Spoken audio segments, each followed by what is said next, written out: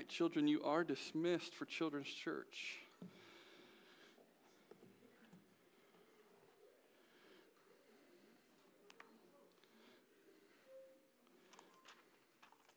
Well, if you'd like to turn with me in your Bibles to Mark chapter 2, we're actually going to cover the ending of Mark 2 uh, and the beginning part of Mark chapter 3 today. We'll read that here in just a moment. But we're continuing this series that we've been on. Can you believe this is the maybe maybe I shouldn't ask that question because you might be like, oh yeah, we can believe it, Pastor. But can you believe this is the ninth message in this series? It doesn't to me, it doesn't feel like we've been preaching on it for very long. I mean, we're getting through it though. We're coming up on the third chapter here, but it's exciting. And in the last few sermons, if you remember that I've preached on this, we've seen this. Um, this. Uh, let me say it this way Today is going to be a big transition in Jesus' ministry. We're going to see some things that really change the course and direction of, of what was happening. And in this sermon, we're really going to, these past few sermons and this one, we've really seen this opposition to Jesus growing from these Jewish religious leaders that want nothing more but to trap Jesus. And we see that today. We even see a plotting to do that. And particularly, I'm talking about this group known as the Pharisees. And all of it comes to a head today in today's passage. And we're going to look at two conflicts here between Jesus and the Pharisees. And it's interesting because both of them have to do with the Sabbath day. And that's why today's message, if we go to the next slide, is titled The Lord of the Sabbath. Jesus is the Lord of the Sabbath. Amen? All right, so let's read our passage this morning in, in Mark chapter 2, starting in verse 23, and we'll read through chapter 3, verse 6. It says, One Sabbath he was going through the grain fields, and as they made their way, his disciples began to pluck heads of grain, and the Pharisees were saying to him, Look, why are they doing what is not lawful on the Sabbath? And he said to them, Have you never read what David did when he was in need and was hungry, he and those who were with him, how he entered the house of God in the time of Abiathar the high priest and ate the bread of the presence? Which it is not lawful for any but the priest to eat, and also gave it to those who were with him. And he said to them, The Sabbath was made for man, not man for the Sabbath. So the Son of Man is Lord even of the Sabbath. Chapter 3, verse 1 says, Again he entered the synagogue, and a man was there with a withered hand. And they watched Jesus to see whether he would heal him on the Sabbath, so that they might accuse him. And he said to the man with the withered, withered hand, Come here. And he said to them, Is it lawful on the Sabbath to do good or to do harm, to save life or to kill? But they were silent. And he looked around at them with anger, grieved at their hardness of heart, and said to the man, Stretch out your hand. He stretched it out, and his hand was restored. The Pharisees went out and immediately held counsel with the Herodians against him how to to destroy him. Let's pray. Father, we thank you this morning for your word. And as we cover two uh, sections here, Lord, may we hear the message that you have for us today. May we receive the grace and reject the legalism, Father, that we're going to talk about today. And we're just so grateful of the way that you are always in teaching mode to let us know how we are to respond and live in situations like this. Father, we thank you so much for your son. It's in his name we pray. Amen. Amen. You know, one of the things I don't like about life is rules. How about you? Do you like rules? I hate rules. I don't. Anyone like rules? Raise your hand. Now, okay, I was going to get there. Now, I'm a I'm a habitual rule follower. Like I hate not following the rules. It just doesn't mean that I have a good relationship with the rules. Does that make sense? It's kind of both sides of the coin there, right? You can't have your cake and eat it too, even though we try. But life is full of of rules and laws. Unfortunately, there's no getting around that, church. We have tax laws, and we know that time of the season's here, right? We have tax laws, we have property laws, we have traffic laws, we have laws relating to marriage and family. Schools have their codes of conduct, their dress codes, and every major corporation has pages upon pages of policy. Even our church has what we call bylaws. We have policies that help guide and govern our church, how we respond, how we act, how we make choices and decisions for the betterment of the church and the kingdom okay? But we got to understand that God, when He created us, human beings, He also gave us laws and commands that we should learn and follow and obey. And I know everyone always, there's a lot of people that look at this thing as a, as a book of, of do's and don'ts, but it's so much greater than that. And I hope by the end of today's message, you will come into agreement with that statement. But we need to be careful that we don't become like these Pharisees and twist his law, his word, into things that were never meant to be. For example, have you ever heard someone say, It's in the Bible, right? And you're like, I'm not so sure if that's in the Bible. You know what I mean? A lot of times I have fun with people because they'll tell me, well, this is so, it's in the Bible. And then I just say, okay. I mean, then I hand them my Bible and I say, well, you show me and we'll have a conversation about it. And they're like, oh, well, I don't know where it's at. And I usually say, oh, it must have been in, in First Hezekiah or Methodicus or something. You know, I make up some name that's not even in the Bible. And they're like, yeah, I think so. Then that tells me all I need to know, right? But in this passage today, um, we're going to discover some of this with Mark's help. And today's passage teaches us three very important truths that we need to know about God's law. If you have your bulletins with you, and the first one is this it's important to understand that God's laws are made for our benefit. Well, I don't like that law. Well, I'm sorry, it was for your benefit, right? Uh, we have rules in our homes for our children, right? Our children may not like those rules. Tony, Zeb, do you like every rule you have at home? Yeah, I didn't think I needed to ask, even ask that, right? But listen, believe it or not, those are made for your benefit. Sometimes for our enjoyment, but mainly for your benefit, right? But right off the bat, in verses 23 and 24, uh, we see these Pharisees and they accuse Jesus' disciples of doing something super bad. Let's, we're going to reread these, but in sections, okay? So let's reread that so it's fresh. Verses 23 and 24 it says, One Sabbath, he was going through the grain fields, and as they made their way, his disciples began to pluck some heads of grain. And the Pharisees were saying to him, Look, why are they doing what is not lawful on the Sabbath? So let me give you a picture of this.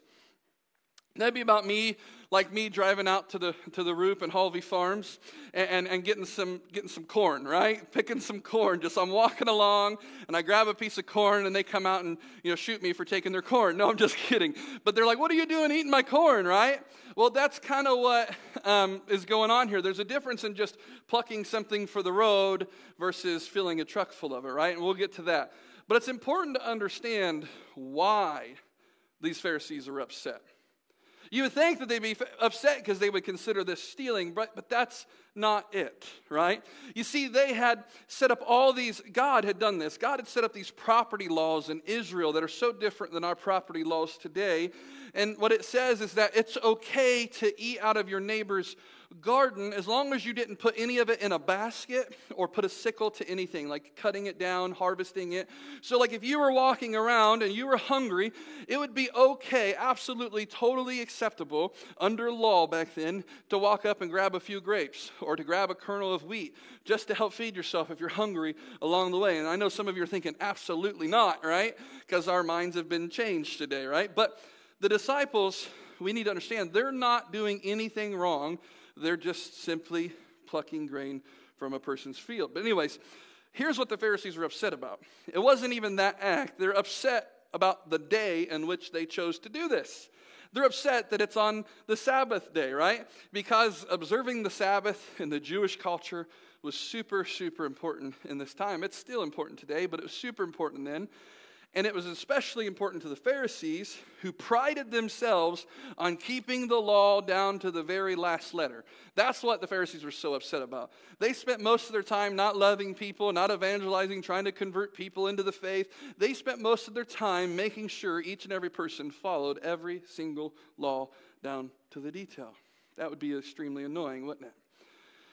We have to remember whose idea the Sabbath was. Whose idea was it? It was God's idea, right? But the rabbis of Jesus' time, friends, they had all sorts of rules and regulations that they added to those that were in the Old Testament. As a matter of fact, they listed about 39 main types of work that were forbidden on the Sabbath day. I don't know if I could remember five rules, let alone 39 rules, right? And they would organize those into six subcategories, and we're going to preach on each one this morning. No, I'm just kidding. Number three on the list was this no reaping. You could not reap harvest, right? You could not reap on Sabbath day. No reaping. And, you know, they had some biblical basis for it. Exodus 34 21 says, Six days you shall work, but on the seventh day you shall rest. In plowing time and in harvest you shall rest. And so when we look at this passage back then, it would have been, yes, it would have been unlawful. Sorry, Jerry. It would have been unlawful for a farmer to leave the synagogue, leave church, right, and go out and start harvesting his field. It would have been illegal, not just unlawful. I mean, it would have been illegal for them to do this in this time. They would have been breaking God's law. But what the disciples were doing, it would take quite a bit of a stretch to say what they were doing was reaping, right? And so, what was it? If they weren't reaping, what was it? Well, they were hungry. All they were doing was getting something to eat. It was that simple. And I love what Jesus does here. Jesus doesn't get into a debate with the Pharisees about whether the disciples were doing something right or wrong. No, instead, Jesus gives them three statements, right, in response. And the first one is this He reminds them, it's in your bulletins, that David and his friends ate the consecrated bread. This is a pretty fascinating story he was giving them a, a, an example from the Old Testament of something that was clearly unlawful. If we look at verses 25 and 26, this is what Jesus says. It says, And he said to them, Have you never read what David did when he was in need and was hungry? He and those who were with him, how he entered the house of God in the time of Abiathar, the high priest. What an awesome name, right? And ate the bread of the presence, which is not lawful for any but the priest to eat. And he also gave it to those who were with him. Okay, so do you, do you notice what Jesus did here? It's very interesting. He made this statement. He said to the, these Pharisees, Have you never read? Why do you think that's so ironic? Uh, it had to sting because remember, these are people who thought they knew it all. They had studied from the time they were young. They would have known it all. By the time they were 12, they would have been out of school and ready to judge people. I mean, ready to hold people accountable, right? No. You know, it would have been such a bad thing at the time. And so Jesus takes them right back to the very scriptures they're supposed to be experts in. And so that would have been kind of an insult. You know, he's like, Haven't you ever read? Like, don't you know this stuff? I thought you knew it. I thought you were the experts. He doesn't say it that way. That's probably how I would have said it in my humanness. But he gives them this amazing example of David and the consecrated bread. And I want to give you just a little bit of background to the story. It's found in 1 Samuel chapter 21 if you want to read it. But this incident took place before David was king. See, if David was king, he could have just done whatever he wanted, right? People wouldn't have said too much. But this is before he was the king. And when he was still on the run for his life from King Saul, who was trying to kill him, and David and his men were hungry. So they go into this tabernacle. They requested bread for him and his men, but unfortunately, they didn't have what is called ordinary bread right? If you weren't the priest, we read in Scripture, uh, you're not or, you're just ordinary if you're not the priest. And so they were all out of ordinary bread. But the problem was there was lots of bread there. As a matter of fact, it says that they ate the bread. Did you hear what they called it? Of the presence. Now, why that's significant is because every Sabbath day, a priest would bake two, uh, 12 loaves of bread and he would lay them out in two six rows on a table of pure gold before the Lord on the sanctuary. Everything back then was really ceremonial. We got to understand that. And at the end of each week, that bread would have been removed and replaced with new ones, and it could only have been eaten by the priest and actually his sons in a holy place. And so here's what gets interesting. Although it was not technically lawful what David did for him and his friends, for them to eat the bread because they were hungry and need, Jesus is saying it was okay. It's phenomenal. See, there's this big law. You can't do this. You can't do that. And Jesus is like, listen, it's okay. And it goes back to our main point that we're talking about is that God's laws are made for our benefit. God doesn't just give us these laws to make us miserable or to take away the enjoyment of our life. On the contrary, they're designed for our good. And so, even if what the disciples were doing was breaking the Sabbath, which it wasn't, Jesus is saying that human need trumps ceremonial law. Why? Because God's laws were made for our benefit.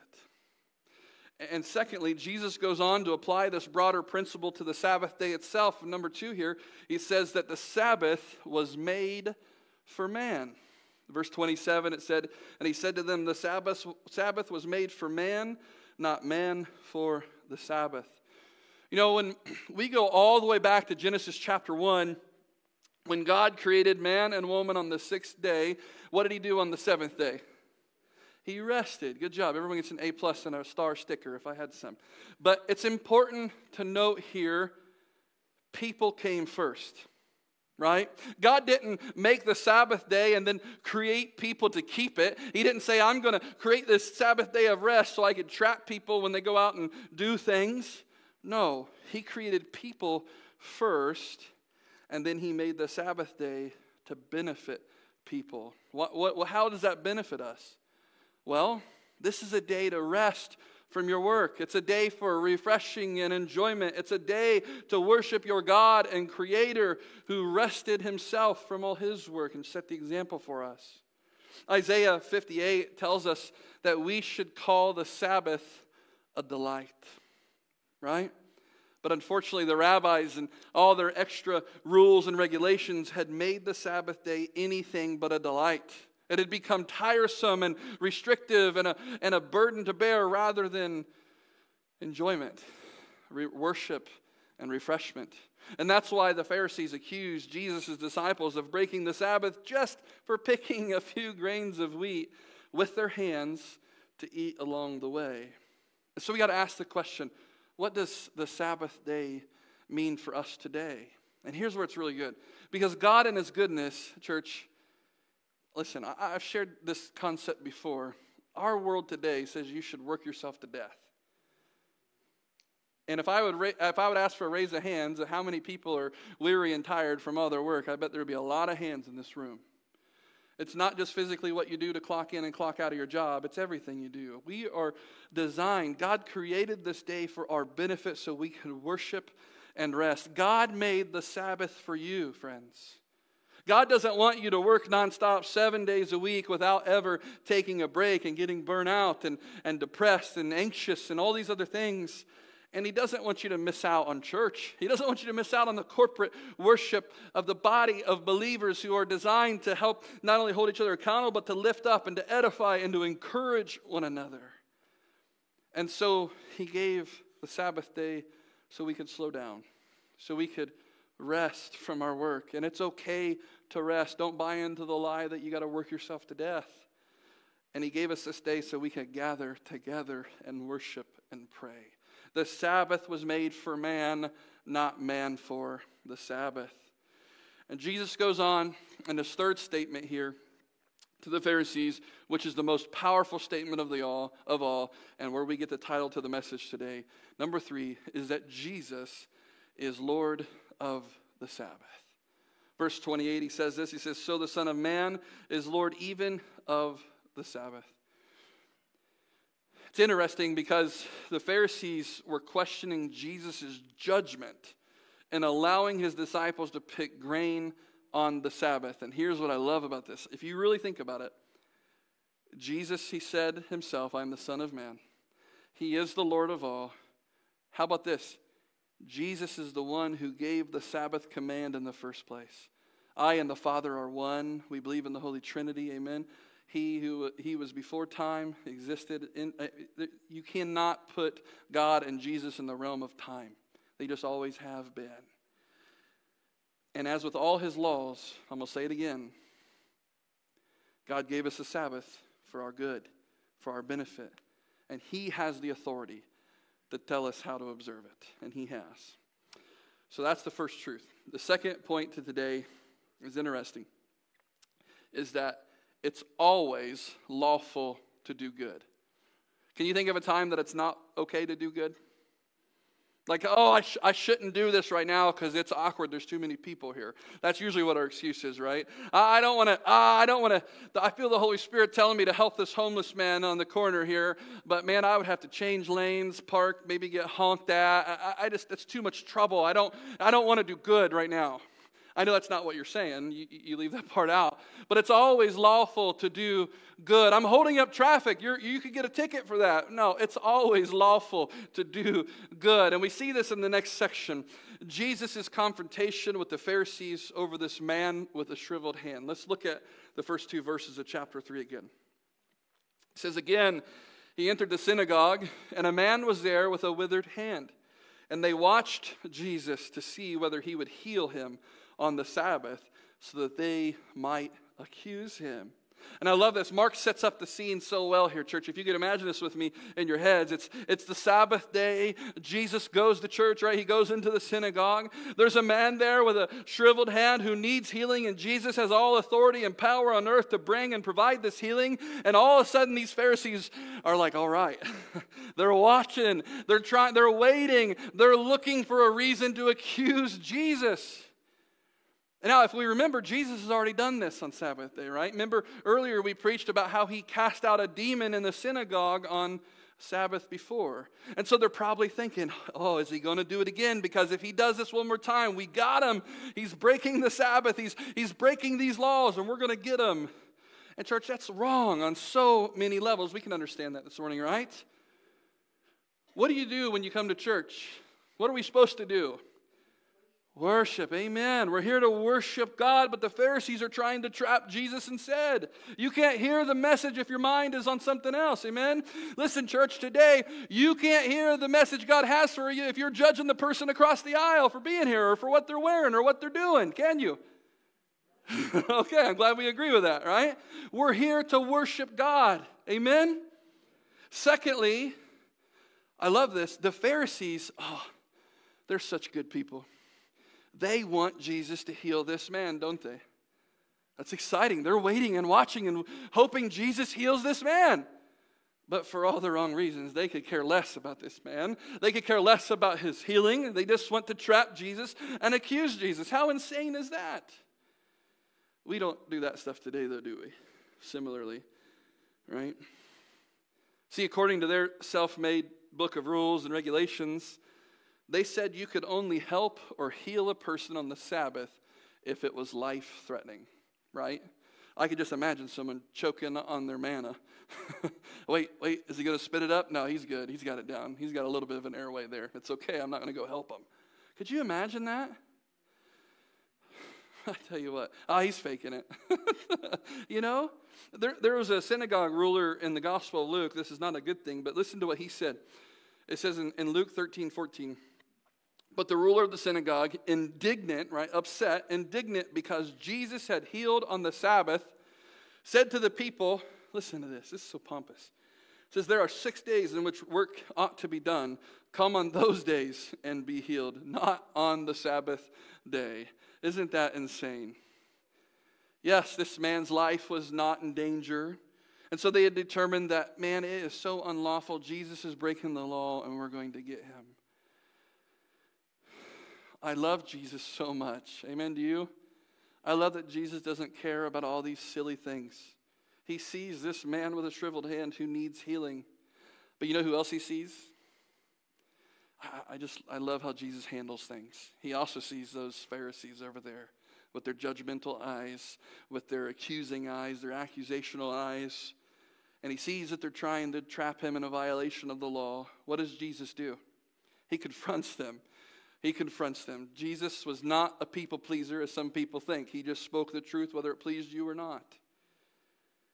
And so he confronts these Pharisees and their ungodly attitude. And I love what he does first. In verse 3, he has the man stand up in the midst of the room, right? He said, and he said to the man with the withered hand, Come here. it's funny to me that they didn't really even have to watch Jesus very closely, right? That's their intentions. But Jesus is like, I'm going to do all this stuff out in public. I'm not going to be shy about this. Jesus purposely planned to heal this man in front of everyone. And then he asked them a series of questions before he healed him. And he asked them this question. And he said to them in verse 4, and he said to them, Is it lawful on the Sabbath to do good or to do harm? To save life or to kill? But they were silent. You can't say anything, can they? I mean, what are you going to say in response to that? They're hoping to trap him, but Jesus is really trapping the Pharisees here with their questions, with these questions, isn't he? They can't say it's lawful to do evil on Sabbath because everyone knows evil is evil and it's wrong. And if they agree that it's lawful to do good, then they can't accuse Jesus of doing something wrong, right? You see the trap Jesus puts them in? So what do they say? They say what every cowardice people say. Nothing. they just keep quiet. There's nothing they can say to justify their position. They know they're wrong, but instead of humbling themselves and confessing their sins, they harden their hearts and say nothing at all. Verse 5, let's look at it. It says, And he looked around at them with anger, grieved at their hardness of heart, and said to the man, Stretch out your hand. He stretched it out, and his hand was restored. Did you guys realize that Jesus gets angry? Oh, I mean, I'm serious. Like, I remember the first time I ever read that as a Christian, I'd be like, oh, Jesus is sinless. He can't get angry. It's bad to get angry. what? and that, I mean, I had an anger problem, so like I just thought it was just the wrong, wrongest thing to ever have. But Jesus was not just angry to be angry. It's not a sinful anger. This is a righteous anger directed towards sin. See, Jesus was so grieved and so moved by the stubbornness of the Pharisees' heart that they were willing, that they would rather him not heal this man and bring refreshment to his life so he could follow some rules that they made up, that they expounded on, that God did. He was angry that they would consider their man made regulations to be more important than this man's healing. And so Jesus chose to do good on the Sabbath. And he says to him, Stretch out your hand. And he stretches it out, and he's completely restored. You see, it's always lawful to do good. I want to read this passage in Romans 13. It'll sound very familiar, I think. Verses 8 through 10. It says, Owe no one anything except to love each other, for the one who loves another has fulfilled the law. For the commandments, you shall not commit adultery, you shall not murder, you shall not steal, you shall not covet, and any other commandment. So, all the commandments, right, are summed up in this word You shall love your neighbor as yourself. Love does no wrong to a neighbor. Therefore, love is fulfilling the law. It's not against the law. In other words, the law is a means to an end, not an end all, right? The law is meant to give you guidance and to show us the uh, concrete ways that we can love one another and love God with all our heart, with all our soul, with all our strength, all our mind. Amen? That's what the law is for. This law isn't to, this book of, of the law is not to oppress you. It's not to oppress you. It's not to hold you down. It's not to tell you what you can and can't do. It's to help guide us through this life. It's to help us to be holy and to live holy lives that are pleasing to God in His sight so that when we stand before Him at our time, we hear, Well done, good and faithful servant. We don't hear, Away from me, I never knew you, like we talked about a couple weeks ago. Amen, church? That's what the law is for. It's to help us through this life. Between the law and the Holy Spirit, we have everything we need because God has spoken and God has delivered and God has provided. Amen? This is not meant to be technicalities and roadblocks to prevent you from loving one another. And so, when you have the opportunity to do good for someone or to do something good, you don't have to stop and ask yourself, hmm, is this lawful? is this allowed? Is this good? There's too many people in this room. I don't want to interrupt to do something good. No, all the commandments are summed up in this one rule love your neighbor as yourself. And so it's always lawful to do good. Finally, we come to the final point, which is where I really want to camp out and spend some time, but it's not going to be a lot of time. But we come to this important truth about God's law, and it's number three here is that legalism is the enemy of grace. You see, early in my faith, um, my wife and I, I think we fell victim to legalism. We were so gung ho and so excited for the grace of God in our life that we began to, to almost be like Pharisees. We began to view people through our maturity that we had gained, which wasn't very mature, and we thought that people who were just coming to Christ should be exactly where we were. We didn't understand that people are coming to Christ and it takes time. Transformation is not instantaneous, there's parts of it, but it takes time. The Holy Spirit needs to speak and reveal to people's hearts so they can grow closer to Him. If salvation made you perfect, perfect, it would be no need for you to still be on this earth. He should just take you with him right there in that spot. Amen? That's the difference. Legalism, church, is the enemy of grace. Verse 6 says the Pharisees went out and immediately held counsel with the Herodians against him how to destroy him. Do you see this, church? How their legalism, how they're trying to get Jesus to follow every letter of the law, led to them wanting to kill Jesus, wanting to end his life? That'd be about like me saying, hey, some of us in this room aren't living the most holiest of lives. Let's plot to kill you. that would not go very well, right? Because I would be on the list too, because I'm not perfect. No one is. We all sin and fall short of the glory of God. Amen. But the free gift of God is grace. Amen. It's salvation, it's eternal. Okay. We have seen all this hostility towards Jesus building up over these last two chapters, church. And now it's coming to a head. That's a pretty serious jump, right? To watching and waiting till we got to go put a committee together to figure this out. How might we destroy this man? How might we kill him?